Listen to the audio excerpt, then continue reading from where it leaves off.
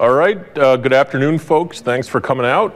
Uh, it's about start time, so welcome to this afternoon's talk on mastering modern PaaS for the enterprise with Azure App Service. I am Stefan Schackow, one of the many folks who works on App Service. Uh, I've actually been with the service since its inception, so I've seen it launch um, and I've seen it mature and grow over time, and specifically mature to a point that I'm actually able to give you the kind of talk and walk you through uh, the kinds of high-end enterprise features that we're going to be looking at this afternoon. So what do we mean when we say modern PaaS or modern platform as a service? So the first thing is we support all of the canonical app workloads that you would expect to run uh, that you know listen to HTTP. So there's the meat and potato web app workload, of course. We support what are called mobile backend as a service. So those are the things you run in the cloud that ultimately a client mobile app needs to connect to in order to transact business. Uh, we support API apps, which, right, they're just web apps that talk JSON, REST API interfaces, things like that. And then the newest and most recent addition to the fold are Azure Functions, which I somewhat jokingly referred to as if, it's, if you've got a piece of app code that doesn't neatly fit into the bucket of an API, a web, or a mobile backend, there's a pretty good chance it would run perfectly as an Azure function. Uh, just as a quick side note, uh, one of my peers in the team, Chris Anderson, gave a talk this morning uh, going into a deep dive on Azure Functions. So if you want all of the details on that, uh, you can also look up that video once it's online and, uh, and watch his session. So okay, we support a, a, multitude of app types, but we recognize that those apps need to be run in a secure manner. And so that includes both app level authentication and authorization and also network level security. And I'll show you today examples of being able to do both those kinds of security, right, the canonical layer 4 and layer 7 security with apps running on our service. The next point is, again, we recognize apps don't exist in a vacuum. Uh, it's a nice idea if we can create greenfield apps that only exist in the cloud, but that is typically not the reality for most companies. So you need to be able to access existing resources. Those, could be existing databases, web service endpoints, you name it, that exist on premises. And then similarly, being able to leverage resources like your existing uh, Active Directory investments. And so we as a service have a number of ways to be able to do that. And again, you will see examples of that throughout the talk this afternoon. And then last but not least, once you get up and running on us, of course, we want to make sure that you can grow. So if your apps are more, more popular, you're ramping them up into production with more customers, we give you a number of options to be able to run on bigger VMs, run on more VMs, and then most importantly, being able to scale out and run around the globe. So that means being able to deploy and run your app workloads closer to where your customers exist anywhere in the world today. So most of this talk, what I'm going to be doing is stepping through four different uh, demo apps and scenarios. Uh, what I'll do in each case is I'll start out just sort of running it here from my laptop or from my phone so you just get a flavor of it. I'll walk you through the high level architecture so you see the pieces of app service, how we plug them together, and then I'll dive into the portal um, and some of the sites and some of the code so you can see how things have been set up in the back end. So the first thing that I'm going to use today is it's a sample app uh, that we call Contoso Moments. It's actually available up there on GitHub. And what I did earlier is I deployed the app onto what's called an app service environment. So uh, I know a number of you, because I've talked to you uh, before, have either investigated or looked at app service environments.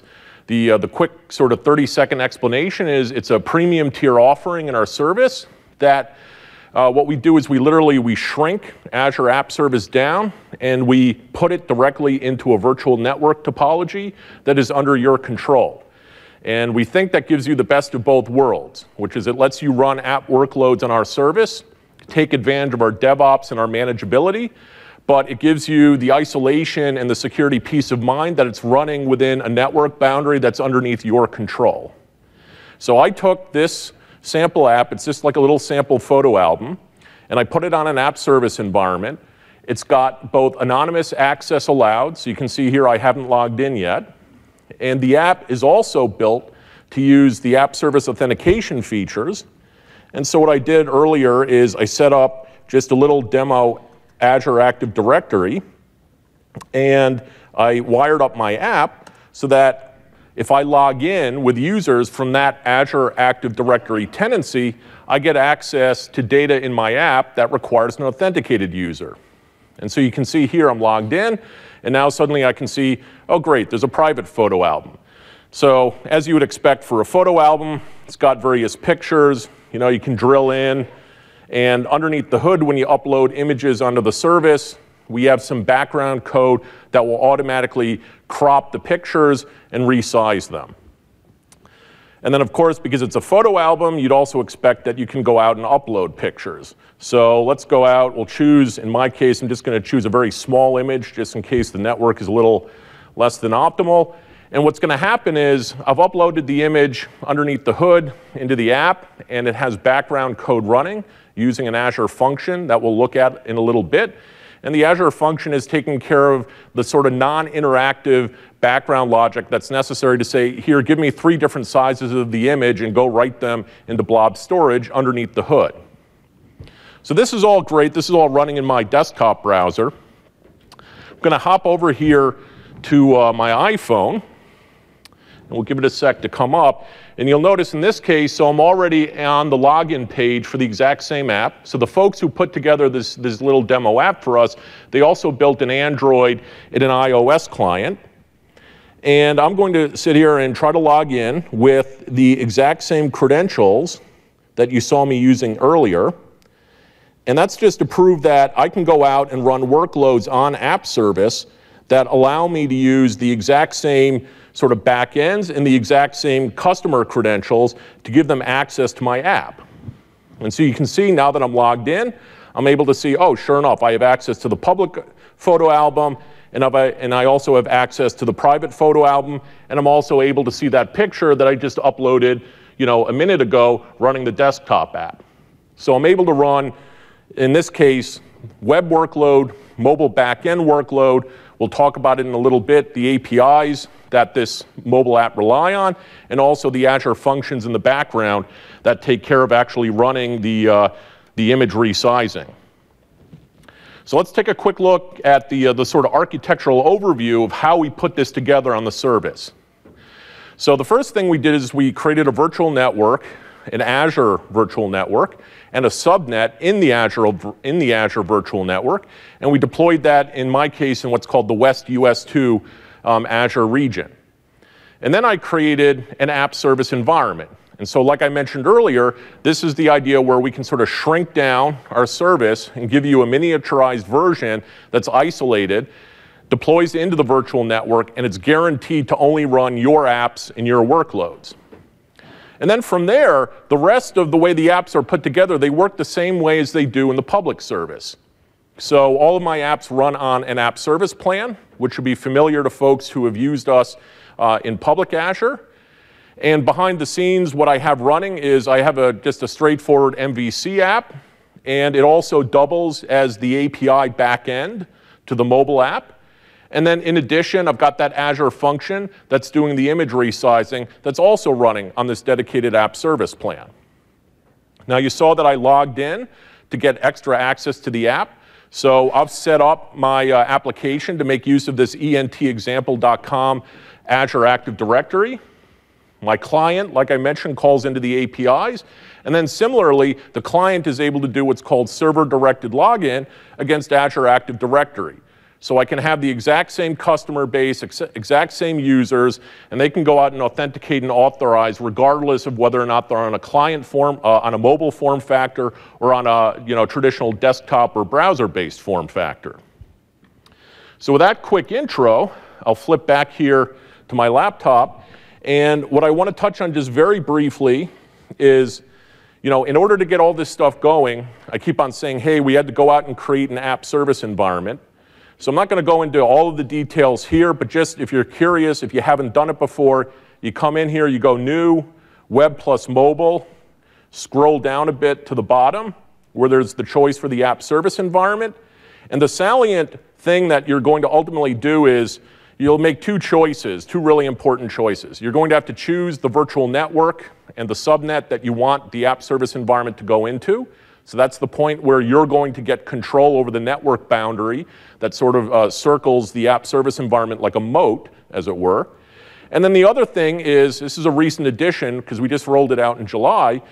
Uh, you're going to tell us if you want an app service environment that is internet facing, aka external, or if you want one that is integrated with what's called the Azure Internal Load Balancer, which that's a lot of syllables, so we just call it an ILB enabled ASE. And the idea is if you choose an ILB enabled ASE, as you can sort of guess from the name, that app service environment and all of the apps on it are effectively hidden from the outside world because the IP address associated with that ASE and those apps is completely internal to your virtual network. Now, another thing that I also just want to quickly touch on, this is more a matter of a sneak peek, so I apologize, I'm going to show you a screenshot um, as opposed to walking through the portal, because literally we're doing this work as we speak, but we are going to be rolling out some updates to the app service environment feature here as we move later um, into the year. And the first thing is that we're going to be integrating the app service environment creation process directly into the app service plan creation process. So I know it's a lot of app service concepts um, all coming together. But the reason why we're doing that is a lot of you that we talk to, you learn about app service initially using our public multi-tenant service. So you have those concepts in mind. And what we do see and we hear is sort of understanding the complexity of the app service environment can be a bit of a usability stumbling block. And so what we're working on is a flow where you will be able to go new app, Oh, by the way, like for example in this example, this screenshot, I'd like the app to be in South Central US, but when you drill into the pricing tier, what's going to happen is you will see new what we call pricing cards, and they will show you options that when you click on one of them are going to create your app inside of a brand new app service environment inside of your virtual network. So hopefully it'll be a little bit more visible to folks and it'll be a little bit of a more natural flow. The other thing that I just wanted to call out, and I highlighted it here, is we're not only just readjusting the flow, we've certainly heard the feedback. So the plan is to introduce D Series V2 support when we roll out that new app service environment functionality. So as you, most of you know, those are beefier, much more powerful virtual machines. And traditionally, they haven't been available yet on app service, so we'll be rolling those out. And then also we plan to make more storage available to apps that run on the app service environments. And we're also going to raise the instance limit so that you don't have to call us up and log a support incident. So the plan is if you want to run up to effectively 100 D series V2s, uh, you'll be able to just do that self-service without us um, ever being involved. And then this is just sort of the other part of the screenshot, right? After you choose the fact in the pricing picker that, hey, I want one of those high-end app service environments, like I showed earlier, ultimately we'll walk you through choosing your virtual network where you want the ASE to be deployed. You'll click create and then you'll be off to the races. So like I said, it's not quite there yet today, but um, stay, tuned, uh, stay tuned for it because this will be showing up in the portal in the not too, too distant future for everybody. All right, so I'll jump back into the main portal here. And the first thing I want to take a look at is that uh, MVC website the one that's actually running both the presentation tier as well as the API backend uh, for my mobile client. So I'll drill here into the details. And when it comes up in the portal, what I want to do sort of point out is you'll notice in addition to telling me what region of Azure it's running in, it's also got some extra info, and this is sort of the hint, the giveaway that tells you, oh, it's not only running in West US 2, but it's running in West US 2 in your private app service environment. In this case, this ACE NEX Internet, which is the name um, that I gave it. And then if I drill into the app service plan, we'll also see everything that's deployed in it. So once it pops up here, we'll see that we got two apps running inside of the app service environment. One of them is our web app, and the other one is we deployed our function app into it. Now, if you happen to go to Chris's talk, or you know, if afterwards you go watch his talk about functions, You'll hear that he talks a lot about serverless, which is one of the you know, great things you can do with functions. When you run in an app service environment, though, it's your private world, which also means all your private compute resources. So instead of going serverless, what you do is you just create the function app in a regular old app service plan. And then from there, you still get all the benefits of the binding, the automatic triggers, the much easier programming model. And so now you've got access to all that great functionality in Azure Functions, but you get it inside of your own enclosed space there that's running inside of the VNet. So that's sort of what things look like just from the point of view of how we set up the app and the app service plan. I want to jump into how we did the authentication uh, for this application. So in app service, you know, this is sort of the layer seven, right, in the, in the uh, OSI layers, the, the kind of authentication that you can do. So you can do app level authentication with a feature called app service auth. And you'll notice that we integrate with a number of different OAuth capable providers. So it's not just Azure Active Directory. We've got Facebook, Google, and Twitter. And what you can do is you can enable an app and tell it, hey, I want to make use of that authentication feature that Azure App Service has. And there's sort of a very easy way um, and almost an automatic way of integrating with that, where if you turn it on, and if I, for example, selected login with Azure Active Directory instead of what's highlighted, what will end up happening is any access to any URL inside of my app will immediately trigger a redirect to whichever identity provider you chose and then you go log in, you know, with your Facebook or your AAD creds, and then after the redirect brings you back to the app, you'll be logged in. And that's actually great. Uh, we use that actually ourselves inside uh, Microsoft on Azure App Service for a lot of our internal tools where it's very easy. You just know everyone in the world needs to be authenticated before I run anything in this app.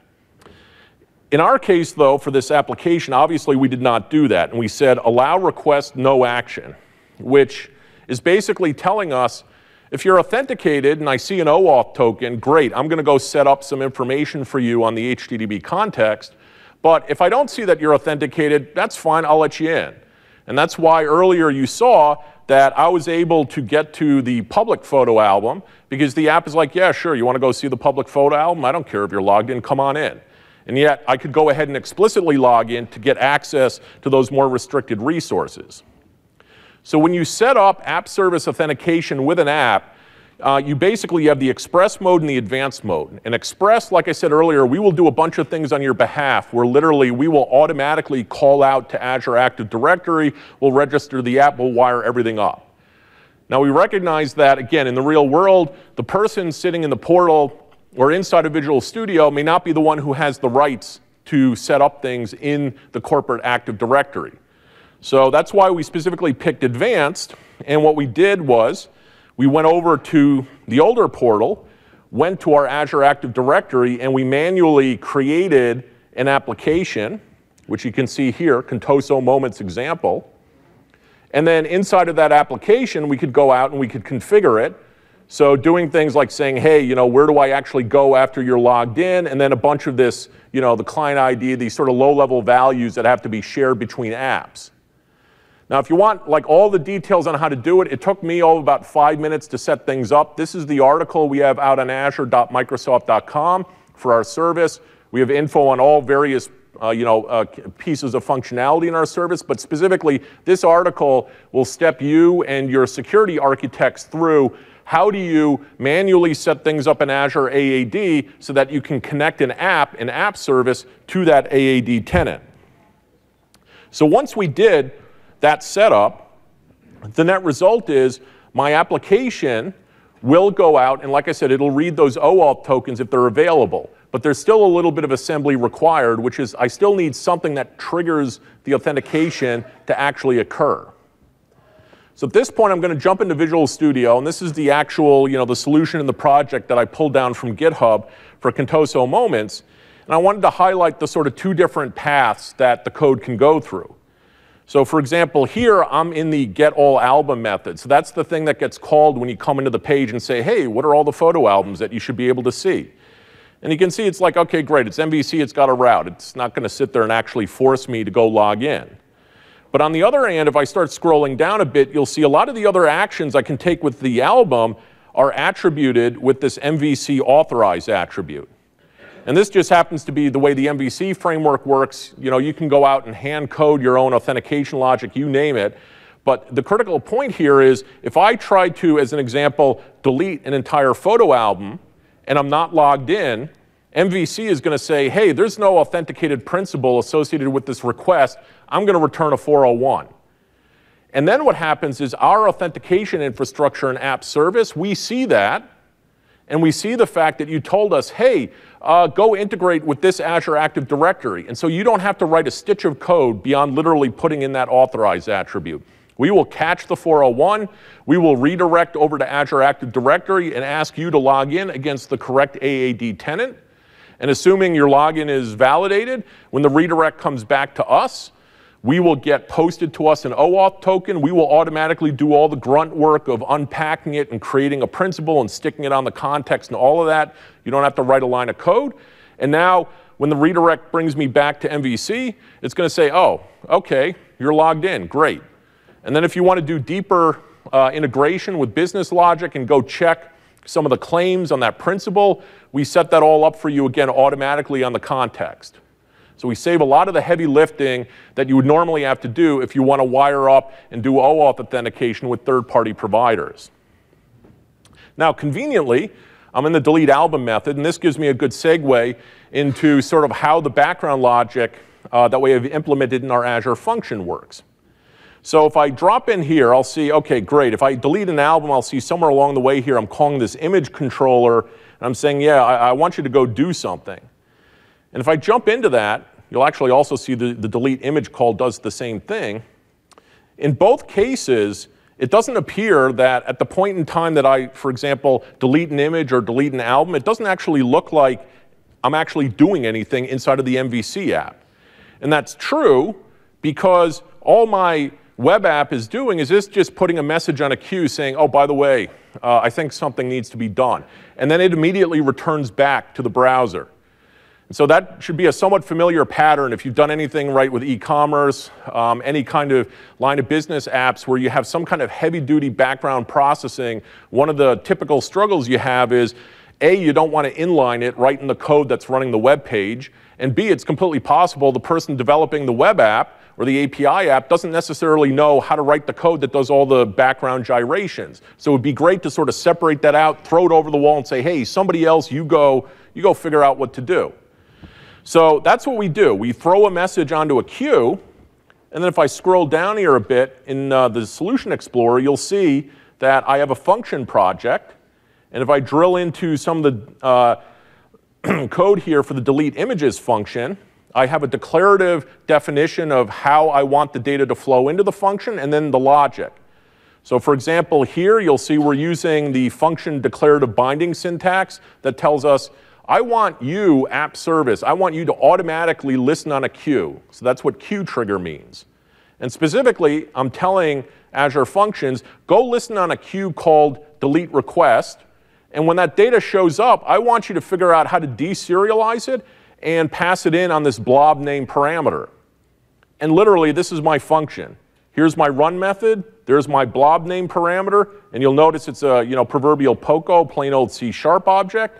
And so again, you don't have to write any code to say, oh, how do I actually listen on a queue? And then how do I make sure if I drop the connection, I reestablish listening on the queue? And then when something does show up, how do I deserial and like all that, all that sort of boilerplate logic that at the end of the day, all of us end up writing over and over and over again. We do that for you. You just tell us queue trigger, listen on queue, pass information into me as this object, and I get it automatically.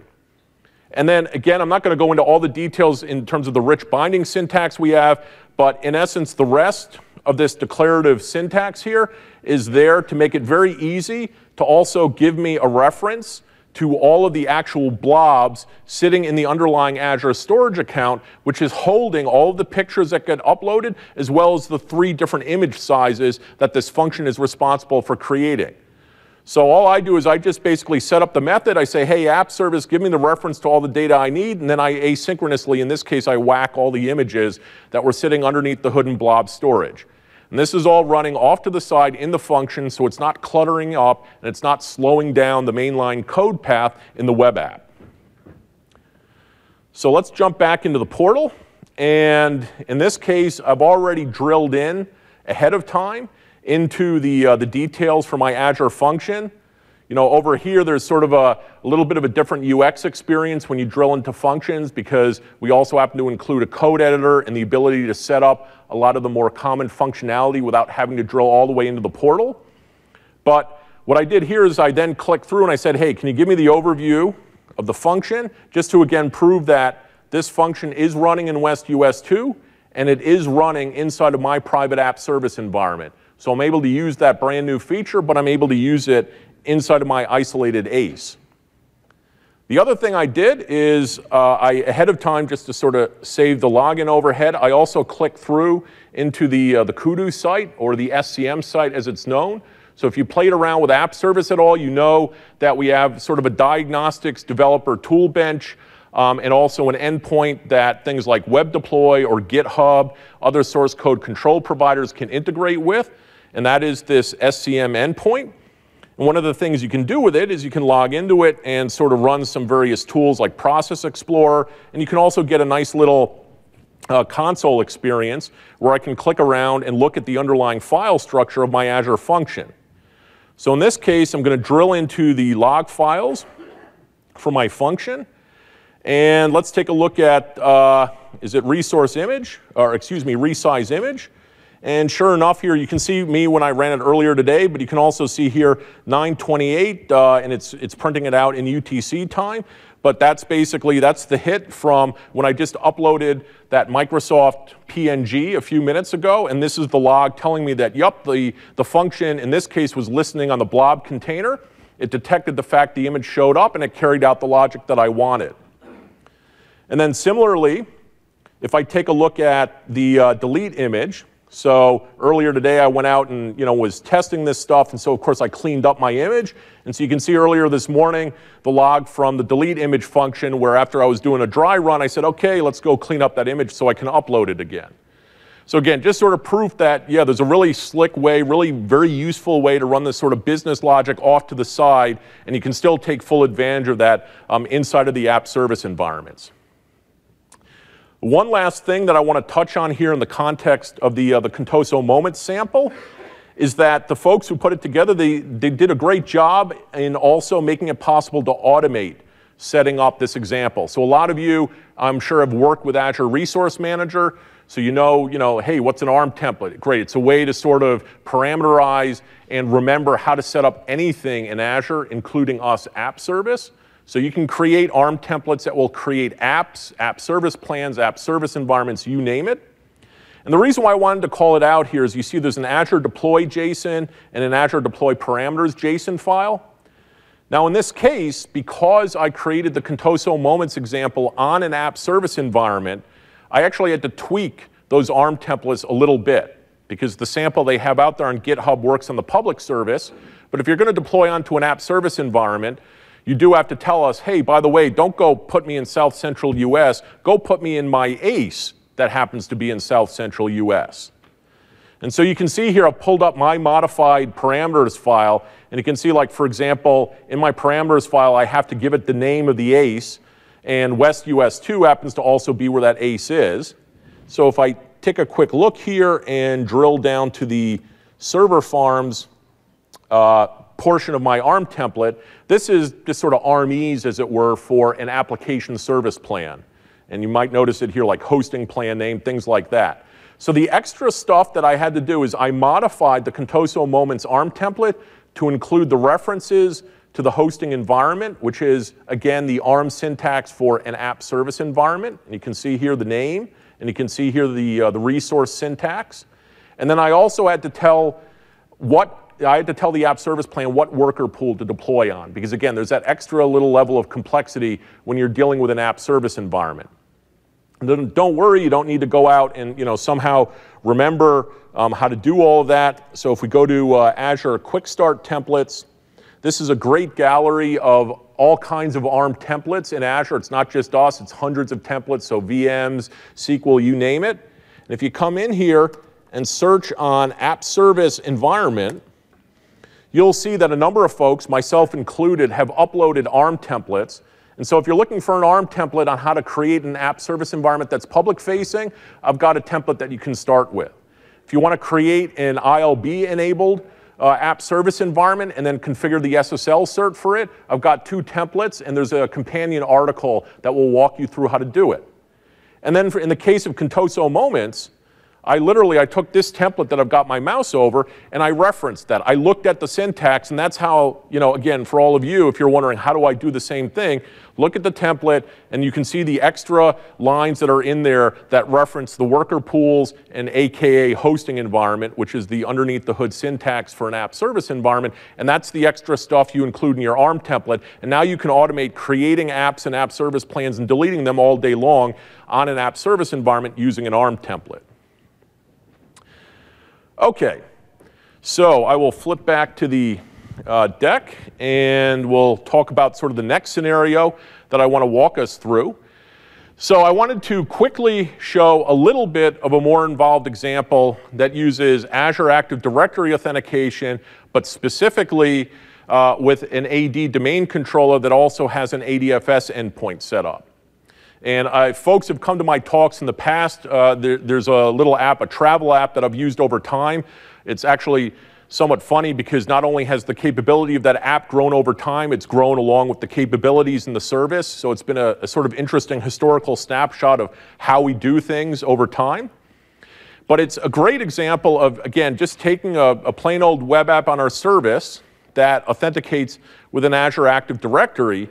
But the twist here is we also set up an IaaS VM up in Azure and installed just Windows Server and Azure and excuse me Active Directory on it. So it's just it's a plain old domain controller running up there on an IaaS VM. We also configured it with an ADFS endpoint. And then what we did is we federated our Azure Active Directory with our on-premises directory and also told Azure AD and said, hey, by the way, when you're doing the login, you do the logins through me, through my ADFS endpoint. So let's take a quick look at that in action. I will jump back in here into Chrome in a new window, go to my travel app. So the very first thing is, okay, great, this app is running on app service, and you can see clearly it's, uh, it's protected. So we're saying, hey, you gotta be logged in to use this app. And after a little bit of a pause, if we take a look at the URL here for uh, for where I'm going to, you'll notice even though I'm on a login page, I'm clearly not on the Azure or the Microsoft provided AAD login page. I'm actually on the login page that's coming off of an, off of an ADFS endpoint. So we'll go ahead and pop in the password, assuming I remembered it right.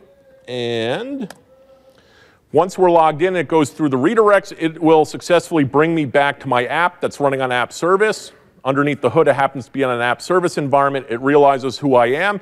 And so great, I've been able to successfully log in with a user credential, but the actual authentication occurred quote unquote on premises, not through Azure AD. And then just to sort of drive home that point, if I quickly drop in here into uh, one of my RDP sessions, I'm actually beamed in here to the IaaS server where we have the domain controller running and where we have ADFS set up and I just logged in as me, so that should be familiar, right? Those were the credentials I just typed in, stephsch at contosoweb.net. So I just, I wanted to call out that example because if you're talking to folks, security architects, uh, folks who are heavily involved on the traditional on-premises AD side of the house, you know, you can absolutely start building apps and services on us, on Azure App Service, and you can absolutely compose those apps with your existing on-prem investments in Active Directory. It doesn't mean that you lose any of your users or lose any control. You can have basically the best of both worlds. All right, so we'll hop back to the deck and intro the next scenario. So this one I called multi-tier app topology because I want to step through a little bit of a more uh, complex layout where I have a couple of different layers in my app stack, and we'll walk through how it's set up and how it works. And what I've done is I've created a, a simple MVC app that's going to be internet facing. It's going to call an API app that is not internet facing. And that API app is going to call a plain old traditional SQL server on IaaS VM which is meant to sort of simulate, hey, I have a backend database that nobody is supposed to have access to outside of my corporate network. So first I'll show it to you running in the browser, just so that you sort of see, great, what's the app doing? And then again, we'll dive into uh, the architecture and how it works. So I'm going to go to www.entexample.com, so a nice friendly host name. Great, you know, nice familiar starter page for my MVC site. And in this case, I've wired things up so that I can drill into a page that underneath the hood is using the RestSharp library to create a proxy that calls my backend API. And again, I'll drill into it in more detail, but this URL you see right here, this is actually the URL of my backend API. And then the internal implementation of that API app is that it uses Entity Framework to just go out and query a table in my SQL Server database and return it back. So I've got three layers here running around inside of my application. So let's take a look at what that, what that looks like sort of from a high level. So once again, we start out with a virtual network, again in the West US 2 region. And first I have sitting off in one of the subnets, like I said, just plain old traditional SQL Server installed on a, on a virtual machine. And as many of you have done before, you know when you create a virtual machine, you get a network security group by default with it. I didn't make any changes to the NSG, so I can RDP to the SQL Server and that's about it. The only network path that is available to get to port 1433 on that SQL Server is if the originating call comes from somewhere else inside of the same virtual network. So I cannot be like sitting up here on my laptop, you know, connecting to a public VIP and querying data off of port 1433. So my sensitive database uh, resources are completely hidden from the outside world.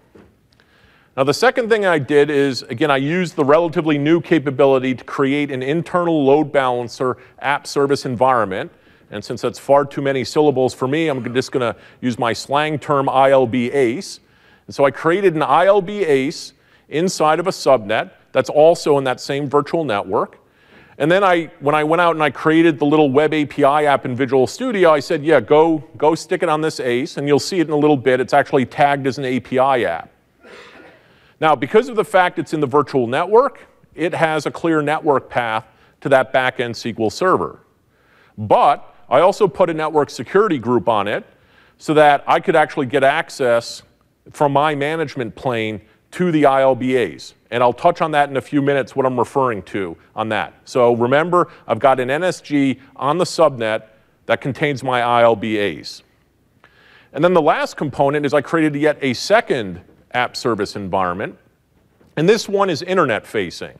So it's in yet another subnet. I, of course, allow access from the outside world because in this case, my intent is everything I'm running on this ASE is meant to be accessible from the outside world. But out its back end, because it's in the same virtual network topology, it is also able to, con to connect to that API endpoint. So I've got a multi-tier topology where I have a guarantee that all of the back-end traffic, my app calling the API, the API calling the database, it's all guaranteed to run solely inside of the virtual network. It is never going out on the internet and that traffic is not even going out on what we call the Azure Regional Network. It all stays secured inside of your VNet topology. So once again, jump back to uh, my laptop, and what we'll do is we'll just start walking through the different layers and, and sort of how things are put together here. So I'll start out in the portal, and once again, sort of take a look at the resources I have in this subscription, and the first thing I want to look at is my API app. So we'll drill into that, and you'll see that when the details come up, um, first off, you know, let's confirm, yup, it's running in West US 2, and definitely it looks like it's running on an app service environment. So great, it's hidden. Uh, you can sort of tell from the icon that, yeah, it's, it's considered an API app. And what that basically means is that in the API app, for example, we've set up what's called a, uh, a Swagger endpoint. So again, I just did this to sort of show, show you and, and drive home the point. You can run any app type on app service inside of a private app service environment. And as a quick sort of 30 second you know, explanation like, hey, why should I care about API apps being sort of known as a special type in app service? Um, if the API apps are accessible from the outside world, what happens is other services like Logic Apps, which is a companion service to Azure App Service, um, they are able to, through ARM, query your subscription and discover the fact that, oh, you've got an API app. And then it can look and say, oh, you've got an API definition endpoint. And so it helps to sort of bootstrap things where one service like Logic Apps can realize there's an endpoint and okay, great, now I know how to go generate, for example, an API wrapper, so it makes it easier how to connect the two. But okay, so that's, that's sort of the API app running on the ASE. Let's actually look at the app service environment itself, right? So I keep on referring to this ILB-enabled ASE. And so I've got a couple of different um, ASEs actually set up here. I'm going to drill into the internal facing one.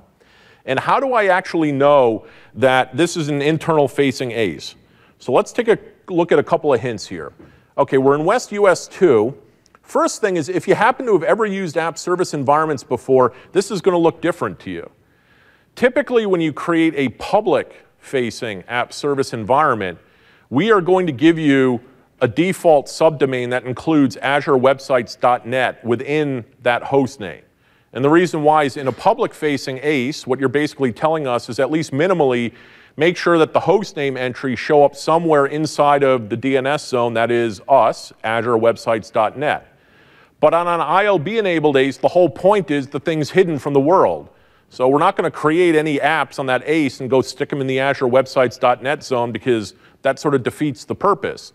So you have to tell us what subdomain do you want to use as sort of the default wildcard subdomain for all of the apps that run on this app service environment. And so just like you can create an app foo and bar and baz.azurewebsites.net out on the public service, with this subdomain, now you can go out and create foo.entexample.com, bar.entexample, baz, et cetera, et cetera. So it gives you the same experience of creating apps, but it uses a subdomain that's yours, that's underneath your control.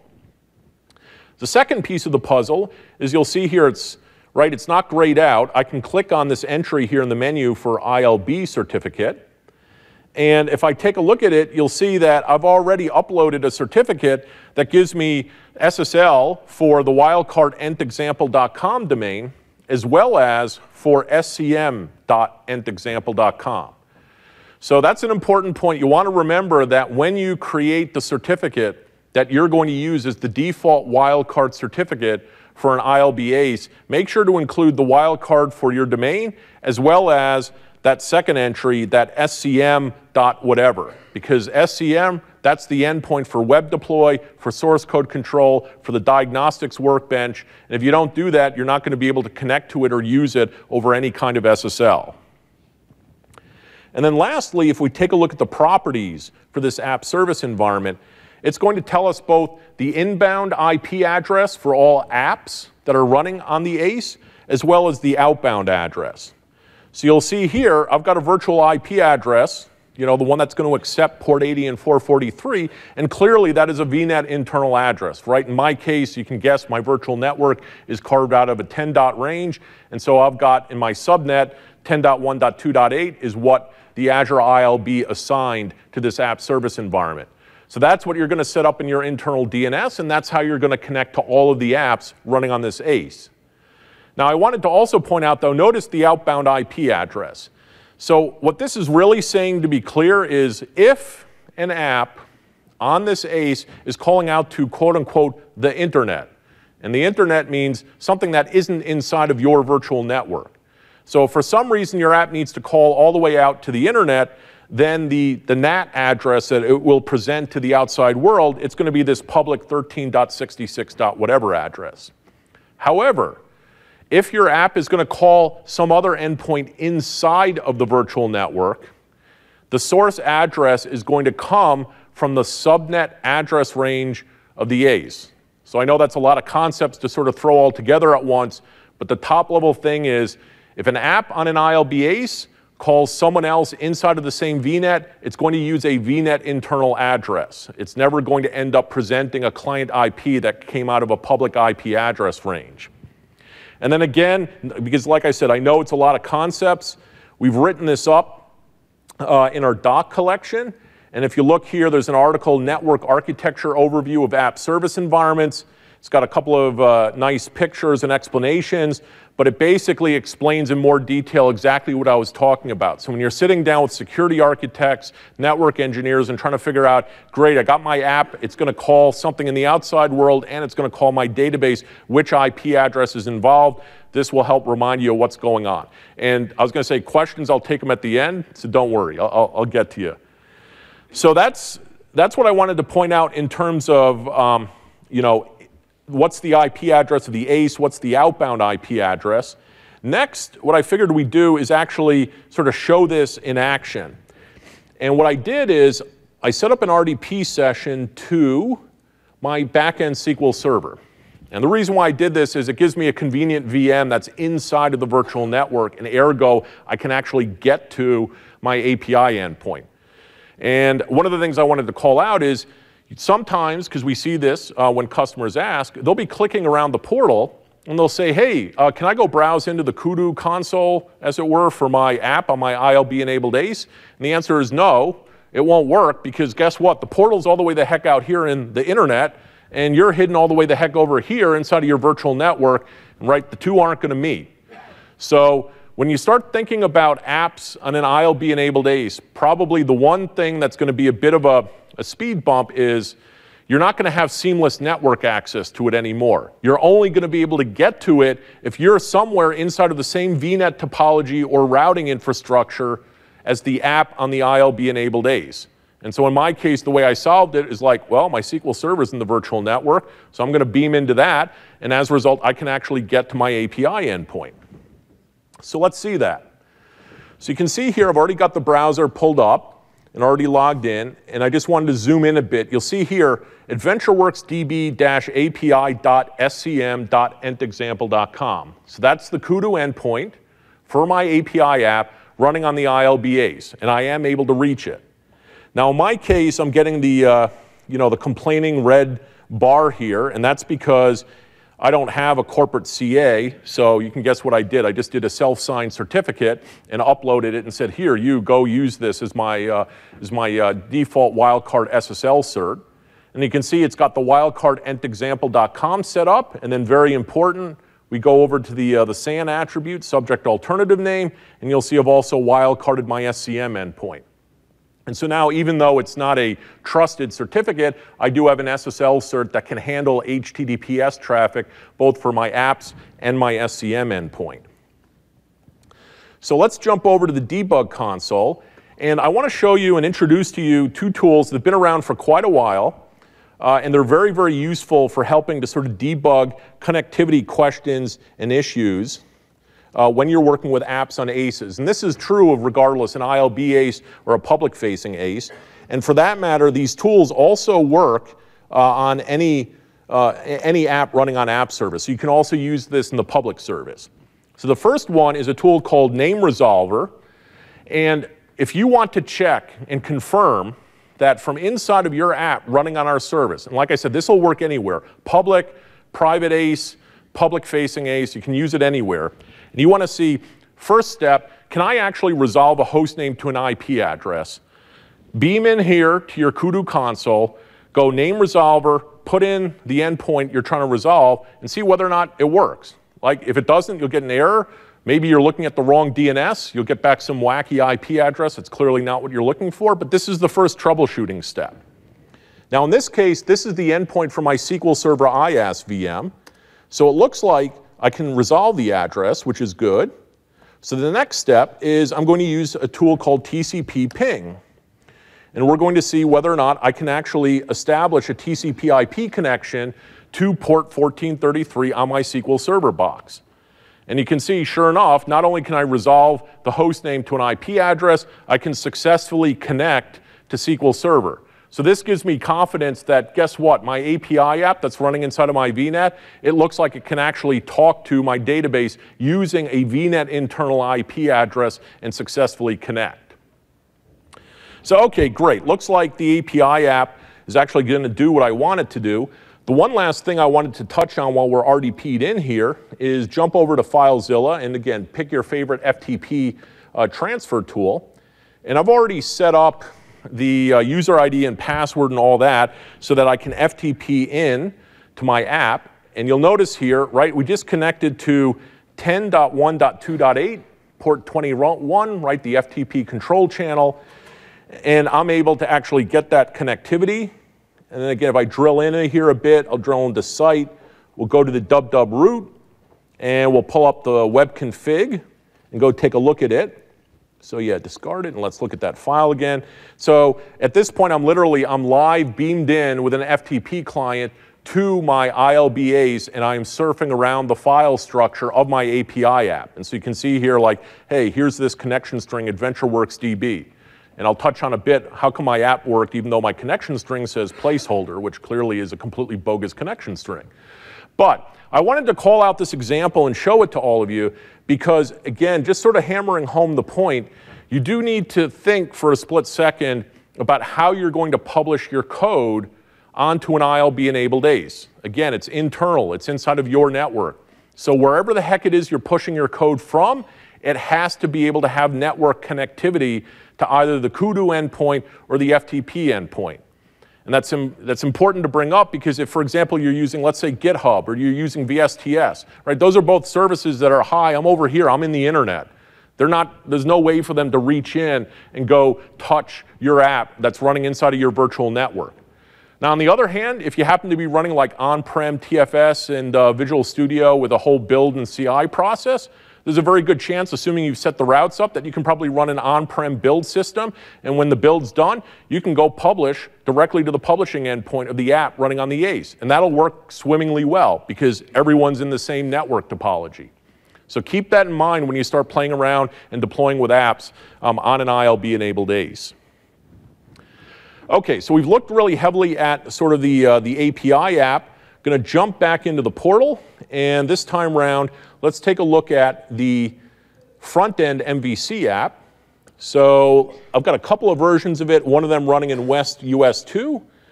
So we'll jump into that, pull up the details.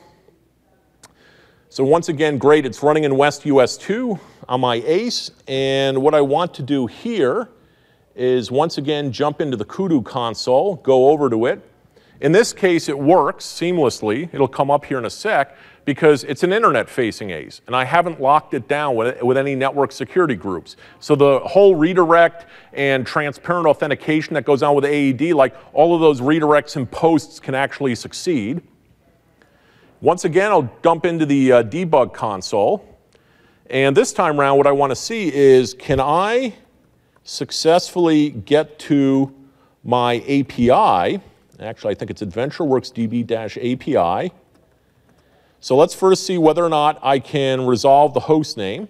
So yes, I can. So my MVC app that's running on the public-facing ASE is able to resolve the uh, host name of my API app. And then similarly, let's see if I can get to, oops, let's see if I can get to the IP address and actually ping it.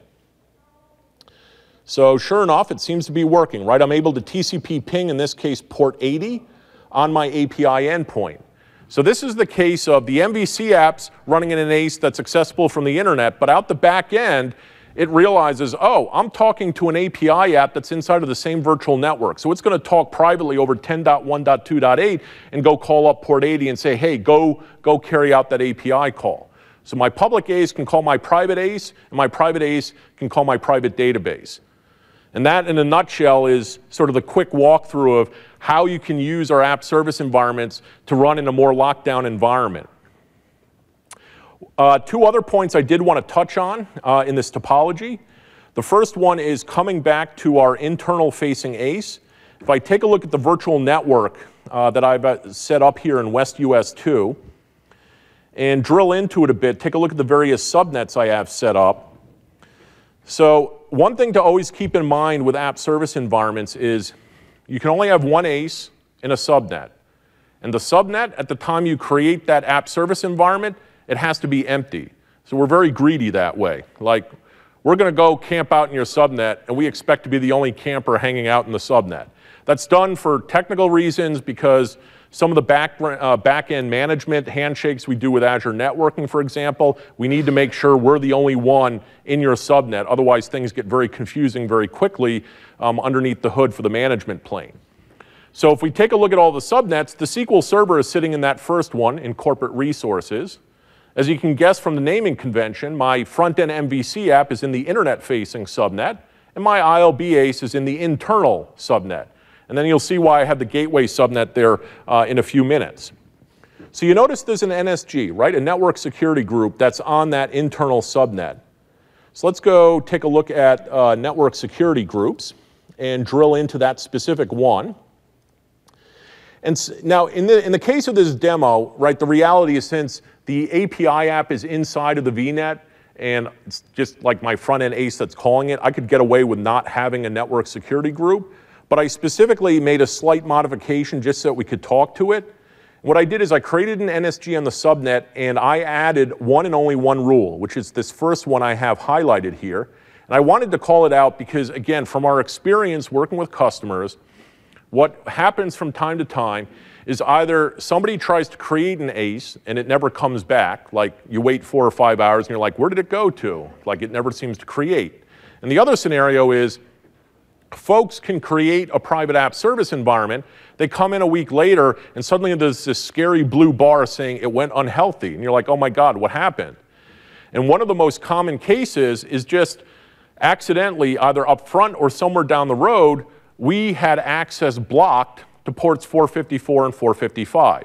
So those are the ports that our management plane used to connect to your ASE and communicate with it. And for example, do things like, hey, it's time to go upgrade your OS. Or guess what? It's the monthly release of new functionality in app service. Let's go roll it out. And if you end up blocking that access, we don't have any ability to manage the app service environment anywhere uh, anymore. We will end up telling you that in the portal, and then sometime later we will actually end up shutting down the ASE because it's like we can't actually do anything with it other than start it and stop it. So if you run into that, please do remember you always have to have those ports open and you have to have it high enough in your NSG rule list so it will actually take precedence, right? You don't want to have some other rule taking precedence over it and accidentally blocking access. The other point I wanted to touch on is you notice all over the place, right, when I was doing name resolver, I was using a friendly looking host name. As you well know, again, if you work with virtual networks, making sure that you get the DNS config for your virtual network set up properly is very important. And again, I wanted to call this out because sometimes what we see is folks start working with an app service environment and everything works swimmingly well. And then later on, they will come in and set up new DNS servers for their virtual network. Or alternatively, um, they will come in and change the DNS settings for their virtual network. And when that happens, you invariably will end up breaking our app service environments. So the thing to keep in mind is it's fine to go out and mutate your DNS settings, but if you happen to change your DNS configuration for the virtual network after the app service environment has already been created, you need to come back into the portal and there is a big restart button on the details blade for the app service environment. And if you click that, we will go through and reboot every single underlying virtual machine. And when it comes up, we will re-read and um, determine the DNS settings for your virtual network, and we will reconfigure the VMs to use your new DNS settings. So like I said, I wanted to call that out because right behind the NSG accidentally blocking access to our ASEs, the second most common problem by far that we see folks running into is something is screwed up or something changed with the DNS settings. So remember, you can always restart the ASE, which is a way of forcing us to say, hey, go, go pick up the latest DNS settings for the virtual network. And once you do that, the ASE should stabilize and it should go back to healthy again. Now, in my case, because I admit um, I am not a DNS master, what I did is I took this domain entexample.com uh, I bought it from GoDaddy, and then I delegated the domain down to Azure DNS. And you may have seen there was an announcement um, earlier this week, right, about the availability of the Azure DNS feature where you can host your zone on our DNS infrastructure. And so that's exactly what I did here with Azure DNS. Now, I would obviously never recommend that you do this for a production facing workload because obviously you don't want to have your internal host names and internal IP addresses sitting out there on a public DNS uh, server. But if you're doing like a proof of concept and you're sort of like me and you're like, oh, I got to go set up DNS servers on this virtual network so that I don't have to like hard code IP addresses all over the place, a super quick and dirty uh, workaround for that is what I'm showing you right here. Use Azure DNS, set up the zone there, and you can see there's my mapping for my database server. There's my API app and also the SCM endpoint. And then again, I'll touch on this in about five minutes. You can see the front end MVC app I've set up with Traffic Manager. So I have the CNAME for dub dub dub set up. So keep that in mind, you know, both just from the point of view of Azure DNS, it's out there and definitely available for your use for public-facing host names, and also it's a, it's a great way just to sort of quickly get a nice simulated DNS infrastructure for sort of a POC or a, a dev environment that's running on an internal ASE. Okay, at this point, we'll hop back to the deck, and we'll talk about the final scenario that I wanted to walk through, which is geo-distributed scale. And I specifically wanted to go through this one because I think by now most folks working on Azure, again, whether they're working with us on app service or working with IaaS VMs, they have a good idea of, yeah, there are different VM sizes. I can run a few, I can run a lot. And so they're comfortable with the idea of either using manual or auto scale to manage how many compute resources they can go throw at a specific app workload. But what folks sometimes don't think about or they come to later in their design process is it's not just about scaling a specific app, it's about scaling your footprint out inside of an Azure region and for that matter around the world. So with that quick intro, let's hop back to my laptop. And what I'm going to do first off is once again come back to my handy RDP sessions. But in this case, what we're looking at is a VM that is running in the North Europe region. So we'll once again go to our app, and that's assuming I can squint at it and get the URL correct. So okay, we went to www.entexample.com. And then similarly, we're going to click in here. And once again, great, I'm looking at the same page where clearly I'm calling my API backend and getting my database data. So at this point, you're probably looking at it and going like, okay, that's nice. You RDP to a machine on the other side of the Atlantic Ocean and prove that the internet works. But there's obviously quite a bit more going on underneath the hood. So first, let's do the high level of, of what's actually going on. So first off, I've got a virtual network, a second one, set up in North Europe. And I created yet another app service environment in North Europe, and I put a second copy of my MVC app on that ASE. And then, sort of behind the scenes, I wired up my North Europe virtual network and my West US 2 virtual network with a site to site connection. So now that I've sort of got the foundation built, I made use of, I made use of Azure Traffic Manager to front end, as it were, my public facing app. And what that allows me to do is it gives me a level of indirection between the customers out there on the internet and how they actually get to a specific instance of my app. So if you've never used Azure Traffic Manager before, what you do is you create what's called a profile, and that's how you tell Traffic Manager what are all the different endpoints that, around the world that are running my app. And then you can give it some basic policy around, hey, Traffic Manager, this is how you should make a decision on which app instance to actually route customers to. So the most common thing is Traffic Manager will monitor the health of each app, and obviously it's not going to point customers at an app that's failed and it will also monitor the relative performance that it determines given where the customer is coming from and where your app instance is located. And it will try to route customers to the closest instance of your running app. And so when you put together the rest of the topology, what that means is I now let Traffic Manager decide, hey, do you want to go to the instance of my app that's running in North Europe? Or do you want to go to the instance of my app that's running in West US 2? And so hopefully I'm able to give a better performance experience to customers by running in the region where those customers are located. So I'll flip back here um, over to the laptop and we'll take a look at how that's been set up uh, underneath the hood. So first off, since I'm actually sitting here um, inside, of my, uh, inside of my VM over in North Europe, what I can do is a quick NS lookup on www.entexample.com. And what you'll see is clearly it's going through a CNAME chain. And the very first thing that resolves is entexample.trafficmanager.net. So what I've done is I, and that's why you saw it earlier, in Azure DNS, I said, when you're looking up the IP address for the www endpoint, actually return back the traffic manager endpoint. And then we'll look at it here in a second, but the traffic manager profile is the one that determines and says, well, guess what? Since you're running in North Europe, as you can sort of guess from the naming convention I'm using, it probably makes more sense to route your request to the North Europe instance of your app service environment.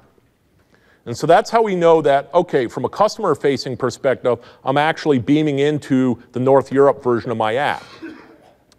Now, the other thing I can do, and this is sort, something to sort of highlight an architectural point. Once again, I'm in the portal. I'm going to click into the North Europe version of my app. And then once I get um, all the items popping up here, I'm going to drill once again into the Kudu console. But in this case, I'm going to be drilling into the console that's associated with my app that's running on the other side of the Atlantic. And that's useful because it highlights a point that you need to keep in mind when you think about geographical scaling. So if I remember my IP address correctly, I believe it's 10.1.2.8 was my API endpoint. So two things. Okay, first off, because of the fact that I set up a gateway underneath the hood to connect my two virtual networks, the calls coming out of the back end of my MVC app in Europe, they are able to route across that site-to-site gateway, make it back into West US 2, and from there they're able to hit that internal facing API endpoint. So great, network connectivity looks good. But if you take a closer look, you'll notice the ping times are like 150 plus milliseconds. Whereas before, the ping times were like ultimately two or three milliseconds. Now, that, that isn't anything you know, that I can do about that. There's nothing that we, Azure App Service, can do about that. But when you're thinking about scaling out geographically, even though for us in Azure App Service, it's very simple to just create a traffic manager profile, wire up a couple of app instances, you're off to the races. Don't forget about the rest of your app stack that's sitting below us. Because if you've got a database or a cache, whatever it is that you're talking to out the back end, you will have to think about how do you scale those back end resources around the world. And so, for example, in this case, right, you can probably think of a few things. Hey, why don't you set up a second API app and go put it over in North Europe and maybe go put a caching layer in it? Or similarly, put the caching layer in the MVC app, and maybe I can reduce the number of calls that actually have to traverse the Atlantic Ocean by 70 or 80%. But keep that in mind because in a few cases, we've seen folks where they scaled out the presentation tier, which is great, but then they just ended up completely throttling their back end because it's sitting in some region that's a thousand miles away, and that requires you know more architecture and engineering work uh, to work around. All right, and the last piece of the puzzle here, uh, just to show everyone, is inside of Traffic Manager, right? I mentioned we have a Traffic Manager profile. So in this case, I created an, a Traffic Manager profile called ENT example. And when you do that, you know, when you click through the creation process, the first thing you're going to be asked for is what is the DNS name that you want to use? And so this is where the entexample.trafficmanager.net host name came from. And what you will do is you will CNAME one or more of your URLs and point them at this DNS entry. So underneath the hood, at runtime, when the DNS resolution is happening like in a browser or in an API app, the DNS query is actually going to hit a traffic manager endpoint that's running in the same customer region. And then what will happen is Traffic Manager will look at all of the endpoints that you set up in your Traffic Manager profile. And like I said earlier, based upon typically whether or not the endpoints are healthy, AKA online, and which one is closest, Traffic Manager will point your customer at the best performing endpoint. And so that's why when I'm in the North Europe VM, I go to the North Europe endpoint, and when I'm West US 2, I go to the West US 2 endpoint. Another just quick thing that you know is not necessarily immediately obvious when you're using Traffic Manager, it's a great way to compose endpoints that are deployed on multiple services. So for example, you can have maybe you're transitioning a web app from IaaS over to us on app service. You can add a Traffic Manager endpoint that points at the web app running on an IaaS VM, and you can add an endpoint that's pointing at the same web app running on app service. And like when you see here these statuses enabled, you can actually come in there and say, okay, I'm going to turn off the IaaS endpoint and turn on app service. Or no, I'm going to turn off the app service endpoint and instead turn on the IaaS endpoint. So there's actually some pretty cool things you can do with that. Another thing is Traffic Manager has an endpoint called an external endpoint, and that's just vernacular for something that's not running in Azure. So taking that same example, you could actually have a version of your app running on premises, maybe in your data center, your existing colo, whatever, and you can register it in a traffic manager profile. And you can also add a second endpoint for maybe a new version of the app that's running on us. And then you can sit there and toggle back and forth, and you can also do some creative things in terms of disaster recovery failover scenarios. So keep that in mind because, you know, I got to tell you, Traffic Manager, once you get into it, very simple to use and incredibly powerful for giving you that extra degree of leverage that sits between your customers and the actual app endpoints that you're routing them to. Okay, so switch back to the deck here one last time and just sort of summarize things to round out the talk. So you've definitely seen today, I showed you that on app service, you can run any of the four canonical workloads, right? Web apps, mobile backend as a service, API apps, and the newest member of the family, Azure Functions. And I intentionally showed you scenarios of all of those app types running in an isolated app service environment. So you can run all those app types isolated inside of your corporate virtual network, and you can lock things down using network security groups so you have greater control over that inbound traffic. And I showed you a few examples of accessing something other than just like the web app or the API app. So when you run on our service, we give you a number of different options to do things like integrating with an on-prem Active Directory by composing with AAD. You can use things like site-to-site -site connections and ExpressRoute circuits so that your apps can connect to resources that are running on premises. So you can sit there and you can move your app workloads up onto the cloud, and you can still have all of your sensitive assets and resources running where they are today. And then last but not least, when your app grows up and grows around the world, it's very straightforward to be able to scale out on us into any of the 24 different regions around the world where our service exists today. So, okay, that's the talk. Thank you very much for uh, coming by, folks. Uh, definitely uh, fill out the uh, feedback forms. When you get these slides, I actually have a couple of links in here that go through a lot of the things I touched on.